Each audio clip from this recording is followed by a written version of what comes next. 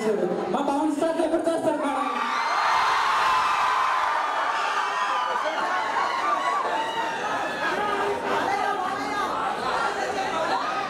ఎప్పుడు ఎప్పుడు నాకు మంచి కథ తనతో చేసేదానికి వస్తుంది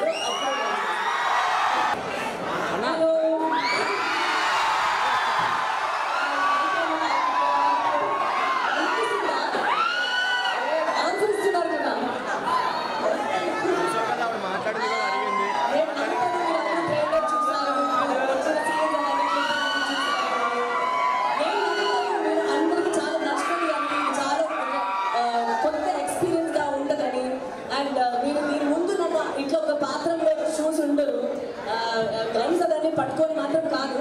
ఎమోషన్స్ వైజ్ కూడా చాలా మన ఊరు అమ్మాయి ఎట్లా ఉంటుందో అట్లే నేను ఉంటా.